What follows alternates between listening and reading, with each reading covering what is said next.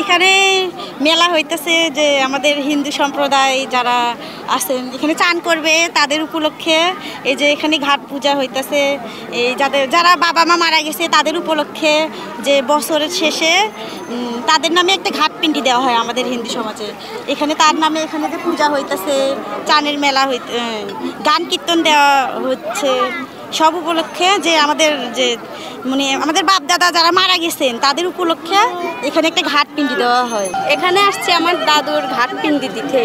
মানে আমার কাকা আসছে আমার মৃত্যুবার্ষিকী উপলক্ষে এই জায়গায় আসছি। আমরা স্নান করলাম পুণ্য হয় এই জন্য ব্রহ্মপুত্রে আসি সব দূর দূরান্ত থেকে আমরা।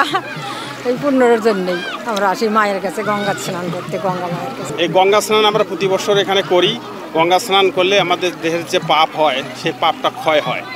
এই জন্য এই গঙ্গা স্নানে এত দূর দূরান্ত থেকে লোকজন এখানে আসে আসে স্নান করে। গঙ্গা স্নান আমরা প্রতি বছর করি কারণ গঙ্গা দেবীর কৃপায় আমরা পবিত্র হই। ঠিক আছে? গঙ্গার গঙ্গায় স্নান করলে আমরা বিভিন্ন পাপ থেকে মুক্তি লাভ করতে পারি। এজন্য আমরা গঙ্গা স্নানে আসি। এজন্যে অনেক ভক্ত সমাগম হয়েছে। প্রতি বছর প্রতি বছরই এভাবে ভক্ত সমাগম হয়। আমরা প্রতি বছর স্নানে আসি। অষ্টমীতে তিথিতে ব্রহ্মপুত্র নদে স্নানের জন্য পূর্ণ পূর্ণ পূর্ণ পাপ মানে লাভ করার জন্য এখানে আসে পাপ মোচন করার জন্য সবাই এখানে। প্রতি বছর মেলা আয়োজন হয়। এই জন্যই সবাই এখানে আসার উদ্দেশ্য। একসময় পুণ্যতিথিতে আর কি অষ্টমী ভোগে।